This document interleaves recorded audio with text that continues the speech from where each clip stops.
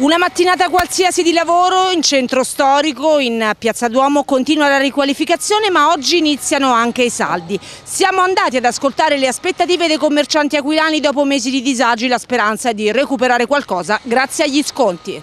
Saldi e cantieri. Anche all'Aquila oggi sono partiti ufficialmente gli sconti tra cantieri e percorsi ad ostacoli per raggiungere i negozi, questo soprattutto in Piazza Duomo, dove si sta lavorando per cercare di recuperare il tempo perduto a causa del maltempo. I commercianti sperano che la gente non si scoraggi e li vada a trovare lo stesso. Lo scacchiere della piazza è in continua evoluzione, molte attività si spostano dai vicoli vicini e scelgono il più fortunato corso. Ad ogni modo la speranza di tutti è che la riqualificazione di Piazza Duomo possa terminare prima possibile. Del resto è il cuore della città, troppo importante.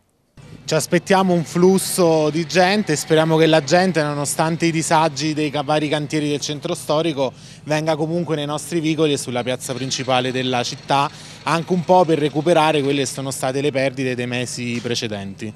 C'è diciamo, fiducia però per il futuro? Per il momento c'è fiducia, siamo fiduciosi, siamo stati fiduciosi quando abbiamo aperto le attività nel centro storico nonostante le difficoltà oggettive, siamo contenti che comunque è in movimento anche la ricostruzione, quindi c'è fiducia anche per questi saldi di quest'estate.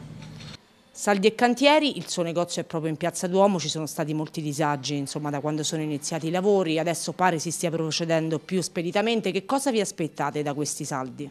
Speriamo di recuperare quello che abbiamo perso con, un po' per il tempo, che è stata una stagione non, non buona, ma soprattutto per i lavori che ci hanno totalmente danneggiato, quindi il nostro augurio è quello di recuperare una parte del perduto. C'è un po' di difficoltà a raggiungervi però. Sì, sono tre mesi che siamo praticamente isolati per questi lavori che non si sa quando finiranno ci sono stati rallentamenti enormi e quindi eh, è difficile arrivare da noi speriamo che la gente abbia comprensione e venga a, almeno a darci una mano in un periodo dei saldi.